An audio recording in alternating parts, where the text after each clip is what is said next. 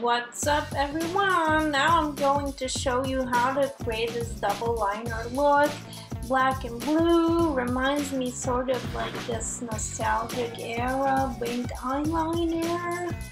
And um, you know, start with foundation, concealer, color corrector if you need to. highlighter, I like to highlight inner corners, always under the brows you can go with white or more golden tone depending on your skin tone. There's no really any specific rule here. And then we're going to um, be adding the eyeshadow primer. And then we're adding uh, black eyeliner.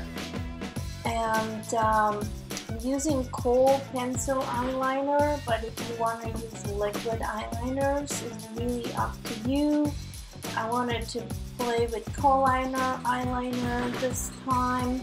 It's smudgier, it's softer, but you can sharpen the lines with liquid eyeliner if you want to.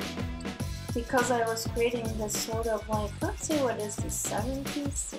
Yeah, that's this look. So wanted with the kohl. Now the key is to make sure both of your eyes have the same angle for your wings, the same thickness.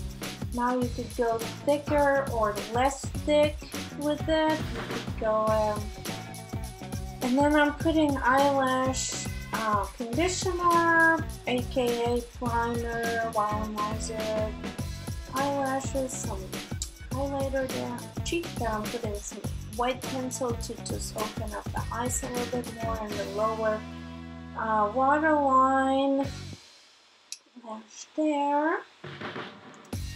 No, don't you don't have to do that step, but if you want to, you can. Now I'm doing my brows, not going too dark with brows, more like that natural white look, matching with your hair color, since this is that one like would say 70s natural eyeliner look but also with the modern twist with the double color there.